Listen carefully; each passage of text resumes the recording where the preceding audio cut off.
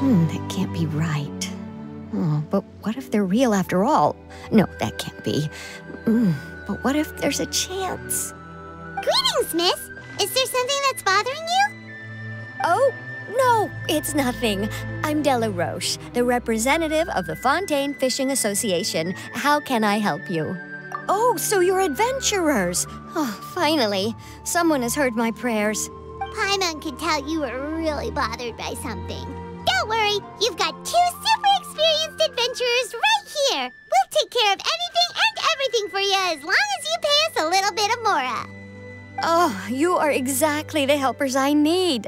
See, the problem is that the fish around a fishing spot at Araneus have just all up and vanished recently. They disappeared too quickly for it to have been the work of human anglers. As the representative of the Fishing Association, I had planned to go and investigate the area right away. right, but unfortunately, as the representative of the Fishing Association, there are a few other errands that I absolutely have to run. So. So, you'd like us to investigate the spot for you? Exactly. You're right on the Mora. So I thought I could delegate this work to you. Are you two some kind of prophets, knowing exactly what I was going to say like that? Or maybe like the oracles you read about in fairy tales? Yeah, we're just really experienced in this kind of thing, that's all. well, I'm glad to hear it. I'll get a good night's sleep knowing the two of you are on the case. But don't we just need to investigate the missing fish? It really doesn't sound too difficult. No, you mustn't let your guard down. As the representative of the Fishing Association, I have good reason to believe that the fish have gone missing due to an encounter with the water imps. Yes, you're both Outlanders, right? Our local fairy tales often speak of a terrifying underwater creature called Thelxie. The story our parents would tell us was always the same. If we went to the water alone, then we'd be snatched away and eaten by a water imp called Thelxie. A child-eating water imp? Did they tell you what it looked like? My father would always describe it as a beautiful, multicolored snake woman, while my mother said it had a handsome face. It's really strange, though, because you'd also hear other people describe it as just a chubby penguin with a deceptive appearance. Even though the tales vary regarding its appearance, everyone agrees that it's really dangerous. It lives in an underwater cave surrounded by pallid bones and uses its sensitive nose to track down lonely children who've lost their way. And once it finds a child, it uses its alluring singing voice to lure them into the water before swallowing them all. Pretty terrifying, isn't it? Uh, sounds kinda scary. But isn't that pretty normal for a fairy tale? After all, those kinds of stories are usually made up to help keep children away from danger. But what if the fairy tale was inspired by a real-life tale? Just like how a water vein always has a source. Well, I wouldn't call it evidence per se, but I've heard some rumors lately. They say that someone recently saw a child walk into the water as if he was possessed by something. Doesn't that sound just like he was responding to the call of a water imp? So you mean someone really got eaten by a water imp? It's all hearsay, so it's hard to confirm. But still, they all say this happened on Araneus. That's no laughing matter if you ask me. Both the Opera House and the Fountain of Lucine were built there, and the sources of many water veins can be traced to the island as well. Combine that with the mysterious mist, the huge tree with expansive underground roots, and the rumor that the fisheps on the island can understand human language. Is it really so shocking that an island so shrouded in mystery could harbor a terrifying water imp as well? Oh, why does Paimon feel like you're pulling our leg? You're just piling on the rumors now. Still, if someone's really been hurt, then we can't just ignore the situation, right, Traveler? Oh, marvelous. Then I'll just mark the stretch of water on your map. Don't forget that no matter what, safety always comes first.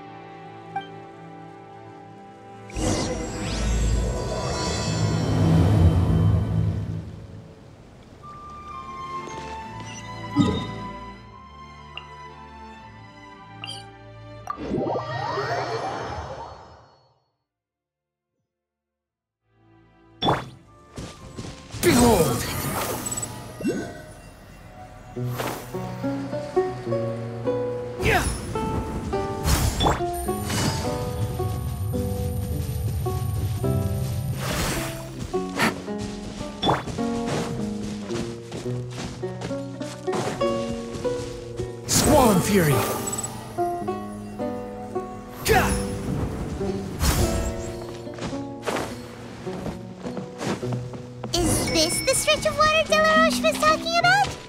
It looks really peaceful. Huh? Look, there are some footprints over there.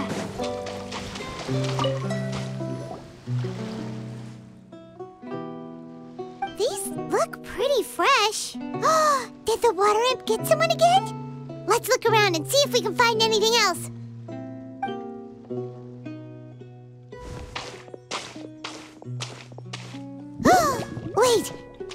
You hear something just now?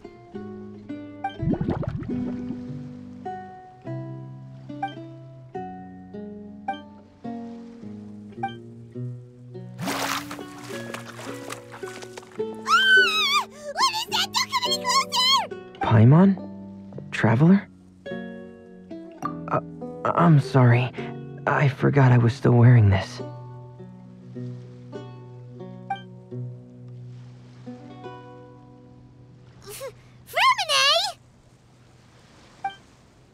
Paimon, are you okay?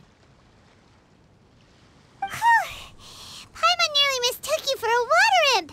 Thank goodness it was just you wearing your helmet. Huh? A water imp? Thelxie, you say? How surprising. Huh? You know that name too? Or do you know someone else who's trying to investigate the water imp? No, I think our situations are probably unrelated. Sure, if that's in order. I know the name because of one of my employers. She noticed the clockwork penguins I brought to the workshop and contacted me through the shop's owner. She has commissioned me to make a special toy. Following her request, I've named the toy Thelxie. Huh?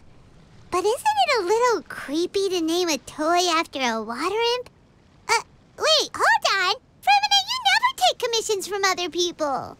Yeah, but, uh, she made a special request, but out of respect for her privacy, I can't really talk about it. It's alright though. She'll be coming over to check on my progress shortly, and I'll just tell her that you're two of my trustworthy companions. Hearing that, she might be willing to share some information, and you'll be able to continue with your investigation. Cold and reserved sometimes, you're still really considerate. Our target isn't necessarily the water imp, though. We're primarily here to investigate the disappearance of the fish. The fish?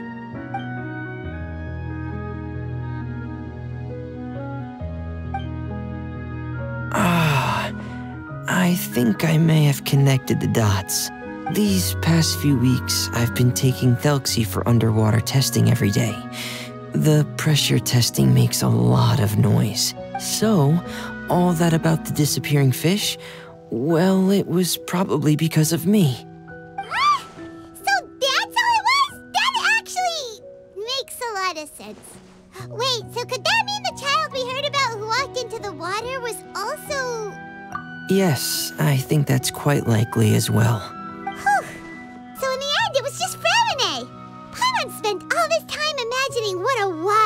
From the fairy tales might look like, and it all turns out to be just a hoax.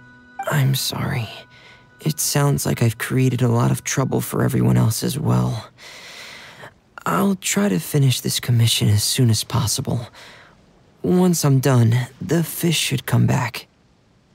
Ah, thanks for offering, but I can't trouble you any more than I already have. Hey, it's no trouble at You just call us your trustworthy companions? Companions are all about helping each other, you know?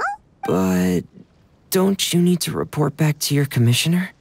Nope, that's not how it works. See, Paimon's got these commissioner types all figured out, even though we were just tasked with finding out why the fish had gone missing. If we tell them now that it was all just a misunderstanding, you can bet they'd just immediately hand us another commission to help them get the fish back. So if we can help you finish up your work and get the fish back, that would save us an extra trip! Um, is that what you'd like to do as well? Huh. All right, I'll trust your judgment. Please follow me. I've made a makeshift camp over there.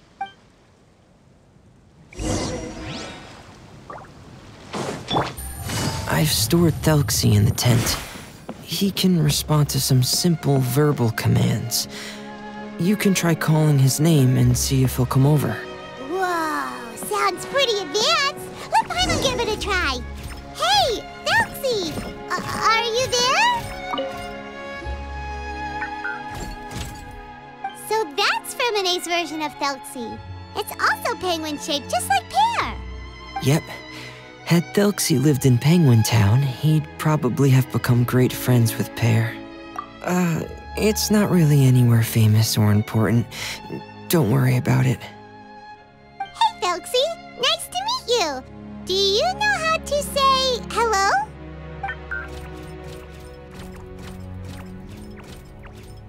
I wanted to install a language output module, but due to time constraints, I had to give up on the idea. As it stands, Thelxie can only output messages that were pre-written into its motherboard. I haven't given him the ability to convert those messages into discernible words, so he can't really talk to us just yet.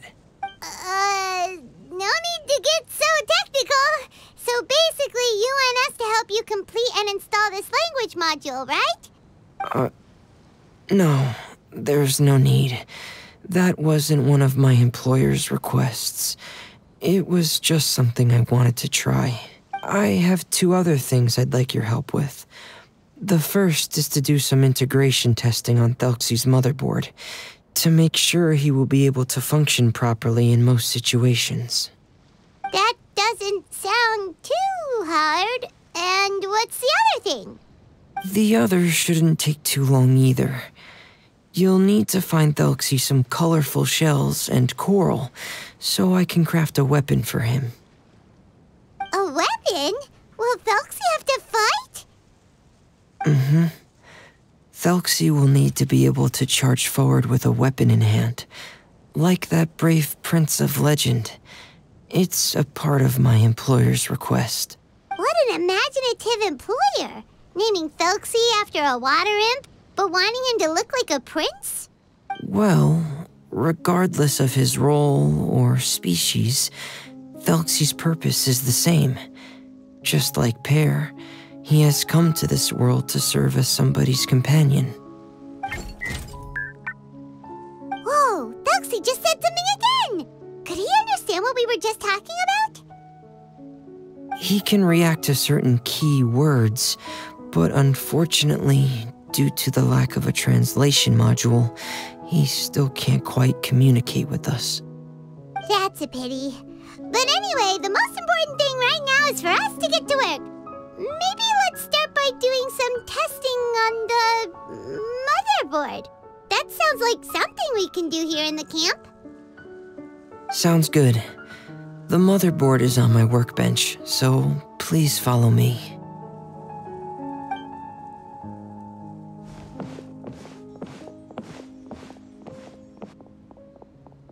Ah, here we go. I have this testing manual, so feel free to reference it if you get stuck. Want to give it a try? It's okay if you don't succeed immediately. I've got a lot of backup boards just in case. Okay, knowing you, I'm sure you'll be able to figure it out.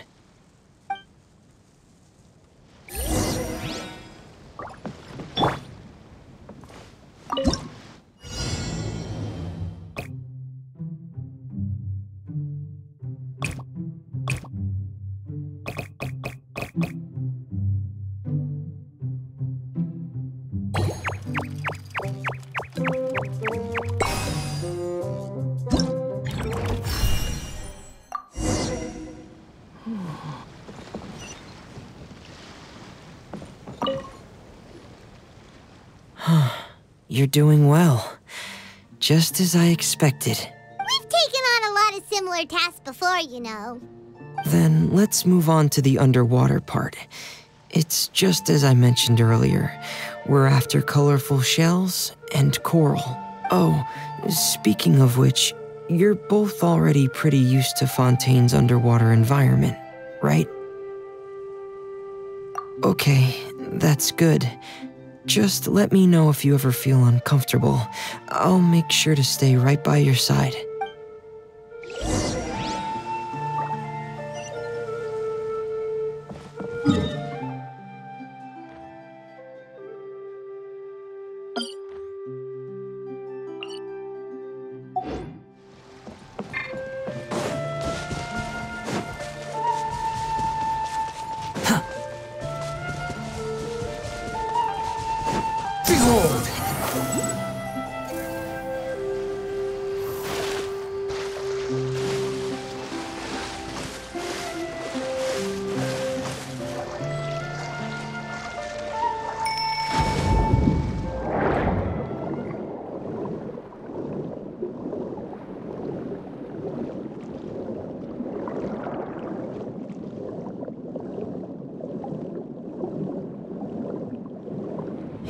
Be right over there.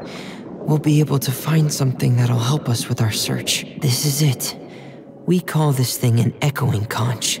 It can detect special reflection waves in the water to help us with all kinds of underwater exploration and excavation efforts. Here, try it. Did you notice any interesting places? The echoing conch should have detected some just now. Let's go check them out.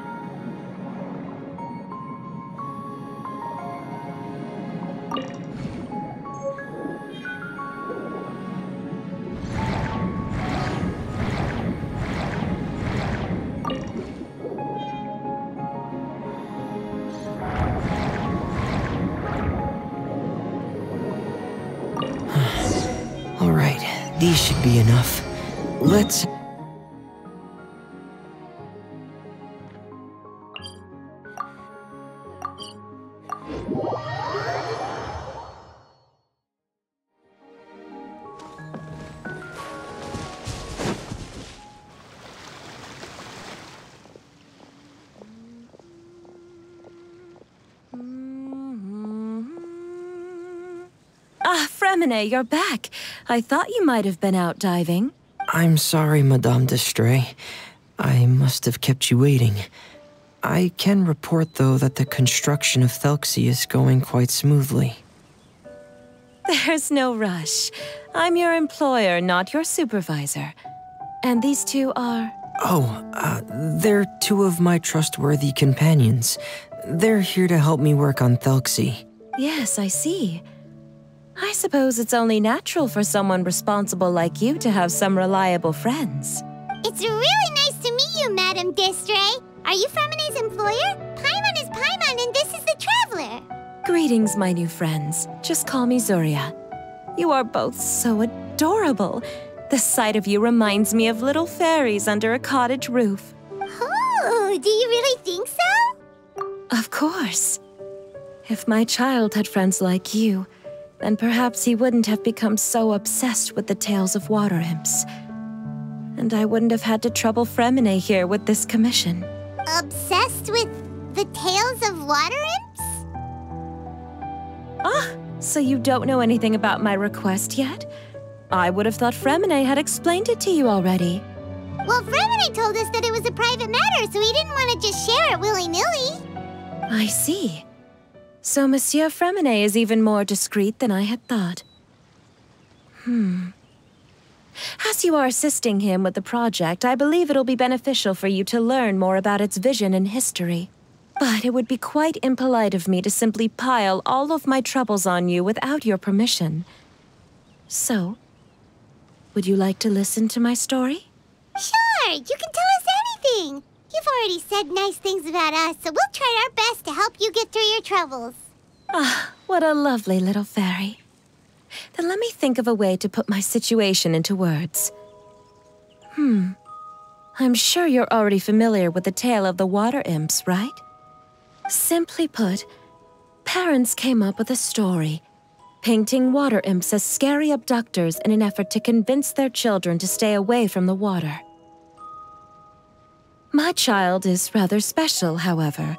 While most other children are terrified of Thelxie, he's infatuated with him. In... infatuated? With a water imp? What a brave soul.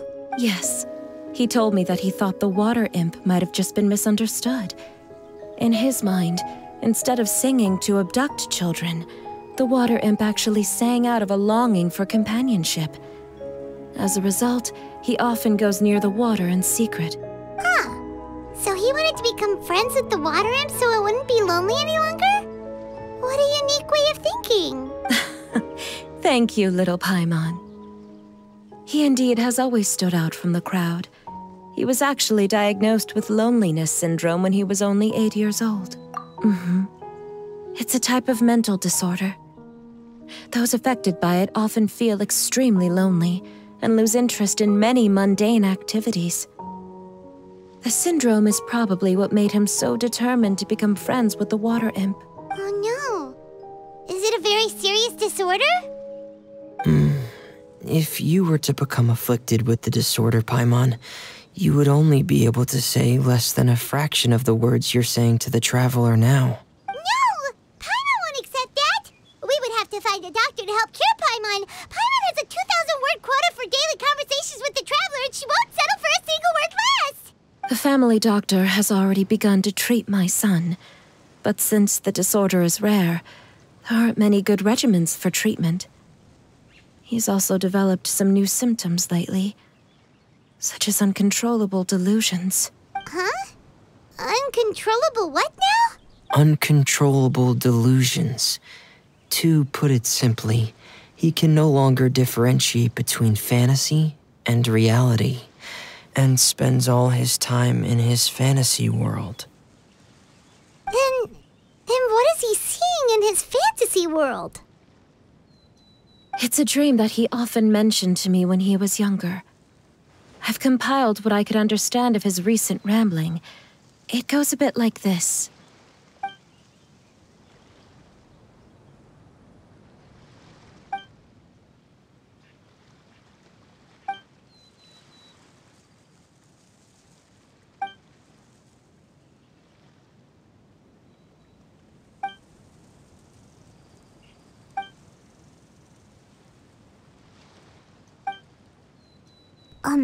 Amazing!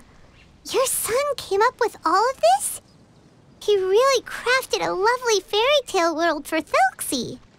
It's like a beautiful dream. But perhaps no beautiful dream can ever last long. You see, the story ended with a twist.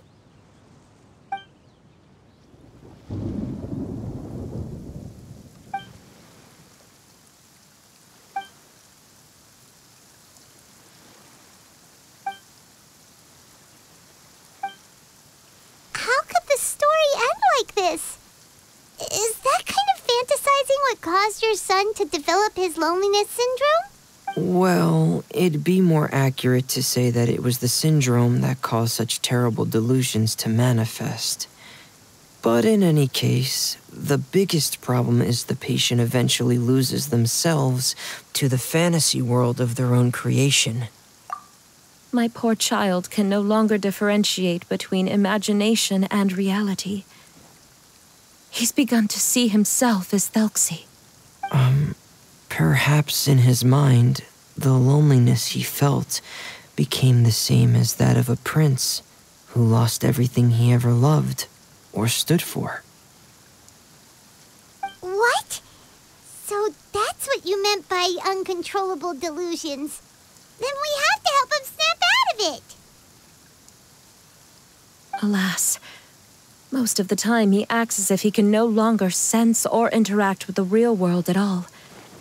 I've had several discussions with the doctor, and we think it is best to try to guide his fantasy. He once wanted to make a picture book of his imaginary world, but since the disorder progressed too quickly, he never quite got past the first page of the book. If we could use this book as a breakthrough for his condition, Here, you can take a look.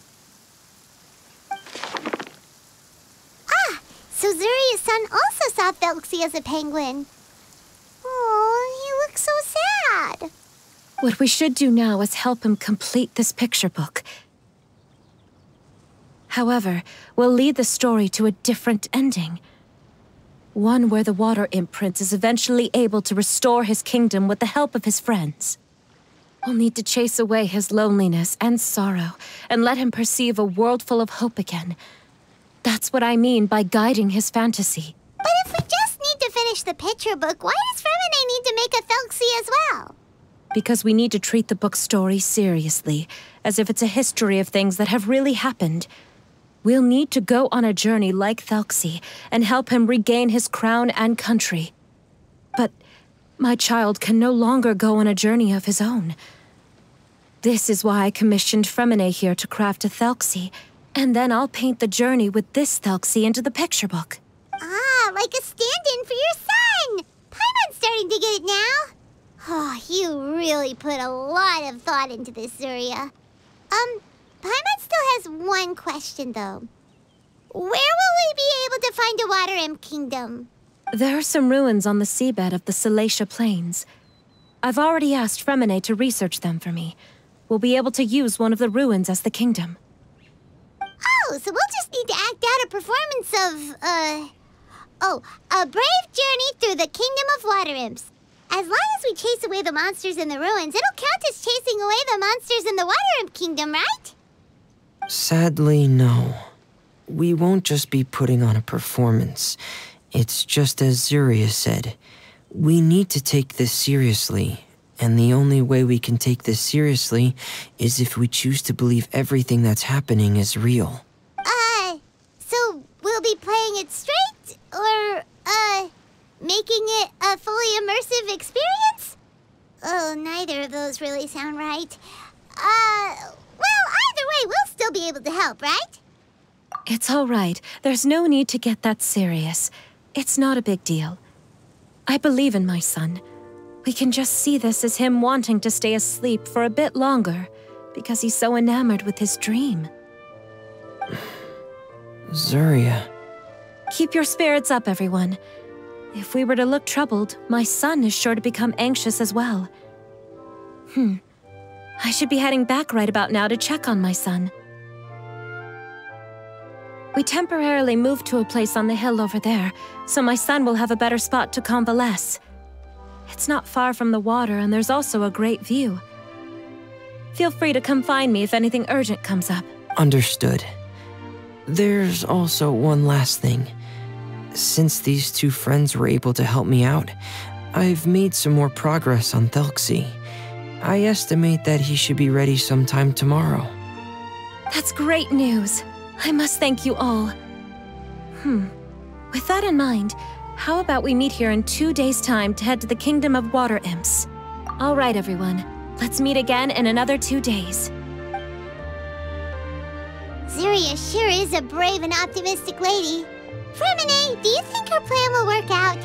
Uh, let's discuss that over by the tent.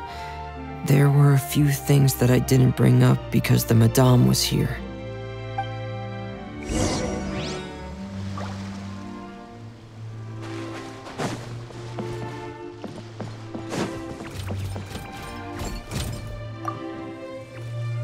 What is it, Freminet? What did you want to say? Um, if you don't mind me asking, I would like the two of you to mentally prepare yourselves. This is the first time that you've met anyone with the syndrome, right? I know you two are both really strong and will do everything you can to help the child. But with the syndrome being the way it is, if things don't. If things don't quite turn out as we wish, I hope you'll be able to accept the outcome and not put too much blame on yourselves. Freminet, why do you bring this up all of a sudden? Didn't we just promise Zuria that we'll be optimistic about everything working out? It's not that I'm not optimistic. It's just. Ah, so that's why you looked like you knew exactly what she was talking about. Wait, Freminet, don't tell Paimon that you also... No, no. Please don't misunderstand. I've never had it. I've just... I've just seen many cases of it at the House of the Hearth, back when we lived under the previous director. They say there are many factors surrounding the development of this illness. I've heard everything from hereditary factors and one's state of mind to environmental factors and even ley line disorder effects. Some even say it could be caused by contamination from god remains. And from the cases I've seen, there weren't many positive outcomes. In the worst cases, the patient could even pass away. What? It could get that serious? And your Paimon thought they'd just stop talking as much. yeah, that's just the nature of it. So, if you'll find it difficult to cope with the worst case scenario, I would prefer that you back out right now. I don't want you to help only to feel like you failed. Yeah, that's right. Paimon's seen all of those things too. No matter how hard it might get, we won't be scared. Really? then in that case, let's see this real-life fantasy adventure together to the end. Yeah! Uh, but Paimon has a question. If this illness can really be as bad as you've described, then do you really think Zuria's method will be able to help? After all, we'll just be using a toy as Thelxie and some ruins as the Kingdom of Water Imps. The whole adventure will only be turned into a picture book for her son to read. Well, I think it should be able to do something. To harbor a fantasy means that the child wants to save himself somehow. The only reason he's allowed his dream kingdom to fall is because he's lost control of his heart. But if we can help him regain control and escape from the darkness, we'll be able to change his world. Like helping someone who's lost their voice be able to speak again. Oh, Paimon sees what you're saying now. Huh. How do you understand all of this so well, Freminet? Hmm. Well, maybe because I have also had many of my own dreams in the past.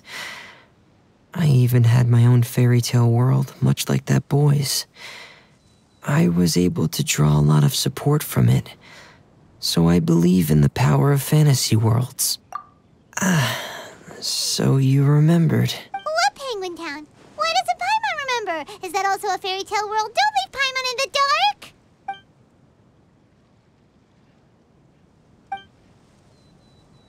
Hey, why did you put that on? It's just one of my personal quirks. Please pay it no mind. Anyway, Penguin Town is a peaceful place with lots of penguin residents. They're all really good at making clockwork toys, and Pers is the town's triumphant hero, as well as the one who quietly protects the whole place. Pers? But didn't you make Pers yourself? Well, I often think that Pers only came to me because he realized how much I needed him.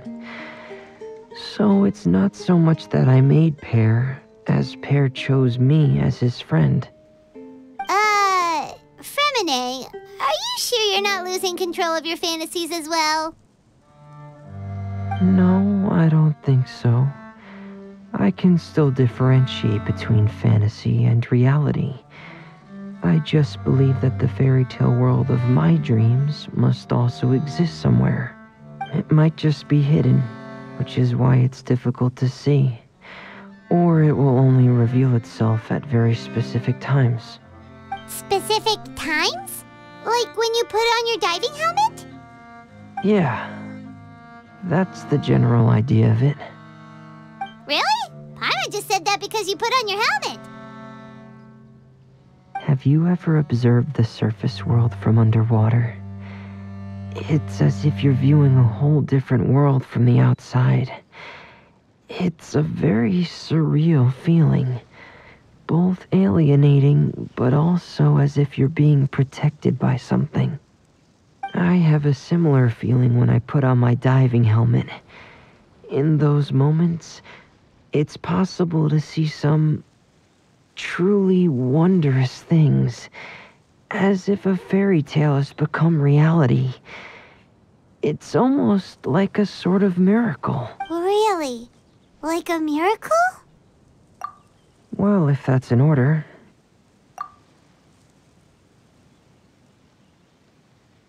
Hey, now's not the time! Freminet still has Thelxie's weapon to make. We don't want to bother him now. Right. I still have to collect some tools I'll need to craft the weapon. I've got to finish everything before tomorrow. Thank you for reminding me, Paimon. I'm sure there'll be other opportunities for you to try my helmet. Thanks for all of your help. I'll be off for now. Let's meet up here again in two days.